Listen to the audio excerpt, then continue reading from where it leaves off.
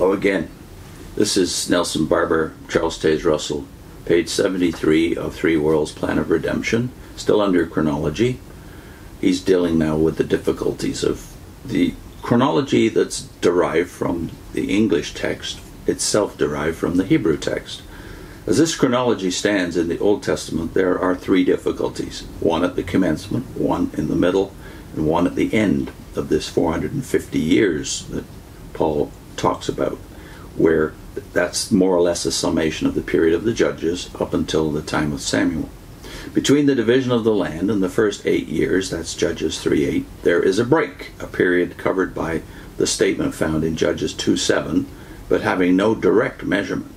Then, in the middle of this period, there is a lap of 20 years during the judgeship of Samson. This time is given, Judges 16:31, as part of the chronology, just like all the others. But in another place, we learn that his judgeship was in or during the 40 years of the Philistines, according to Judges 15:20, which had just been counted. And yet it takes all that is given in Judges, this 20 included, to make the 450 mentioned by Paul. The third difficulty is with the terminus, until Samuel the prophet, is a very indefinite ending. Samuel was with Eli, the last judge, when a mere child, and he was contemporary with King Saul during nearly all of his reign, and even anointed David as king. But notwithstanding all these difficulties, we think the apostle has used just the language to set everything right, connecting each end and taking out the tangle in the middle.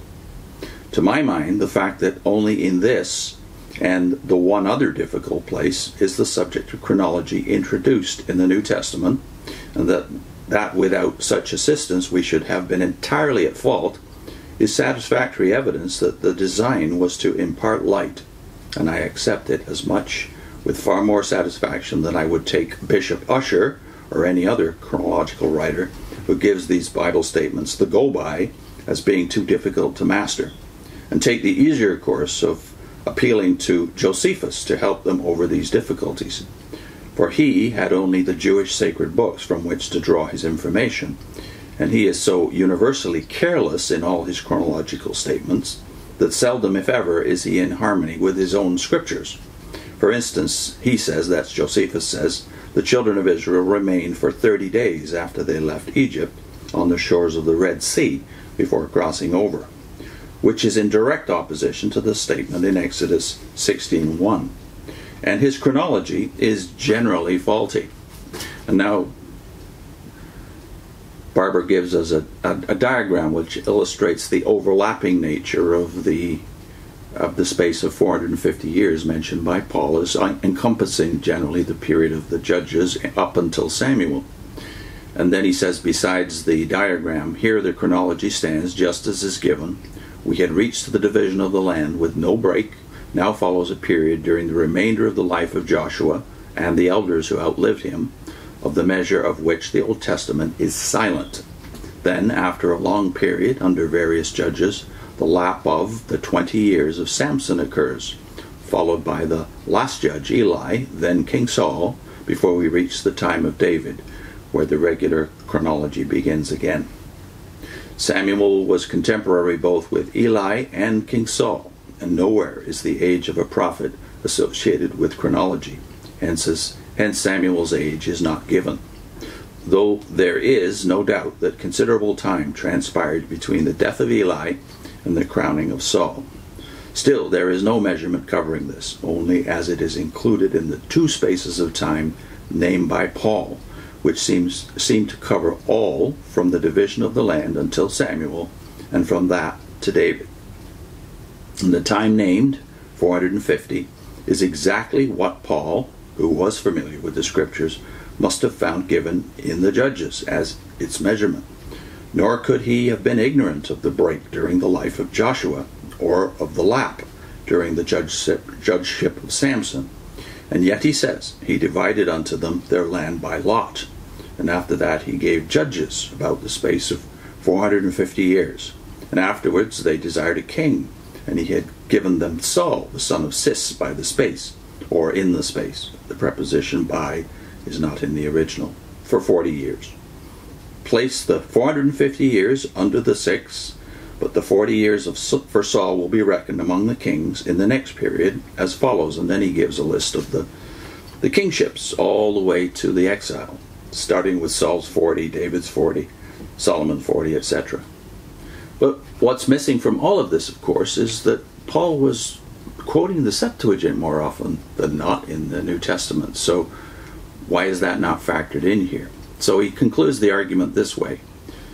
After talking about Zedekiah's reign of 11 years, he has a total 513. He says, place the 513 under the 450. This hypothetical page that you're adding the numbers as he goes along. With the end of the 11th year of Zedekiah, unto the carrying away of Jerusalem captive, according to Jeremiah 1 3, will reach the end of the kingdom, and is here the diadem was removed to be no more until he comes whose right it is, according to Ezekiel 21, verses 25 to 27.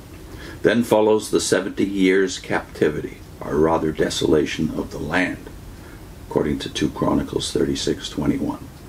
Place this 70 under the 513, and you have reached the end of inspired chronology. This 70 years terminated in the first year of Cyrus, king of Persia, to fulfill the word of the Lord by Jeremiah.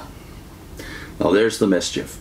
Barbour has planted this as the inspired chronology, and the Watchtower is still following it.